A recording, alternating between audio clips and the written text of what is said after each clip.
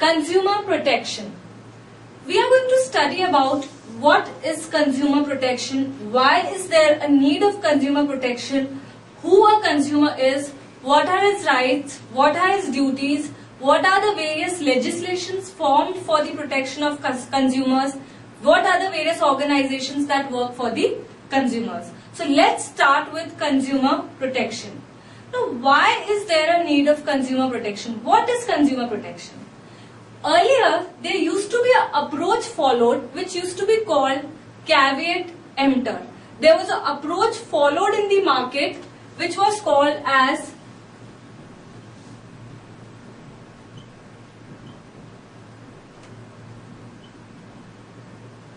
caveat emptor. Caveat emptor is the approach followed in the earlier times. This means, this approach basically said that let the buyers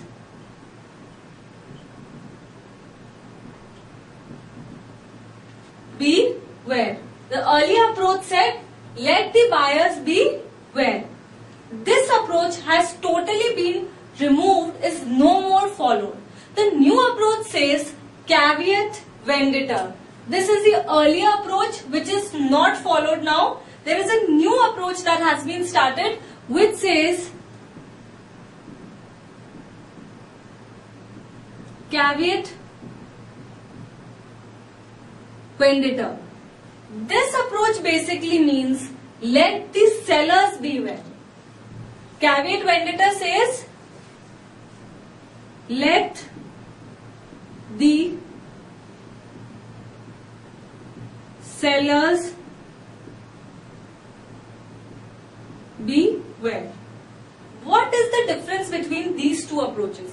The first approach tries to favors the sellers and says that the person who's buying a particular good should be where? Should be where before taking any good. But this approach no more exists. The new approach says caveat venditor, which means let the sellers beware. That means it's not the buyers who should be aware, it should be sellers who should be aware of the buyers. That means this approach says that the consumer is the real king in the market. So, this approach makes consumer the king.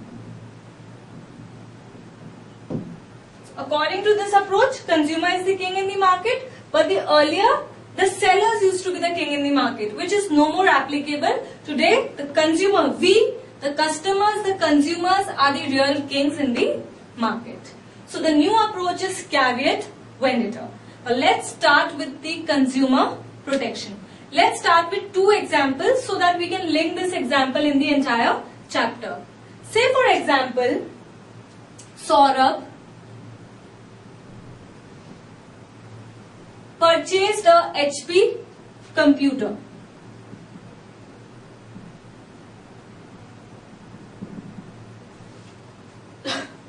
HP gave a warranty of a period of one year.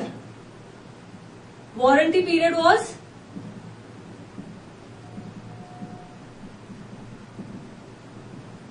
one year. Now after two months, what happened? His monitor stopped working. After two months,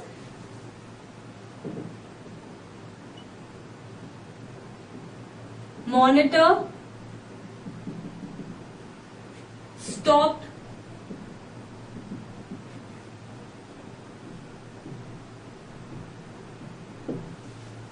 working. What happens? Saurabh calls the customer care. He goes to the customer care cell and complains about the fact that his monitor has stopped working in just a period of two months and he was given a warranty of one year. What happened? The customer care department forwarded his complaint and replaced this monitor. Replaced this defective monitor. So what was happening? It was replaced. Now what does this example show? This example shows that Saurabh was a aware customer. He was aware that the warranty was of one year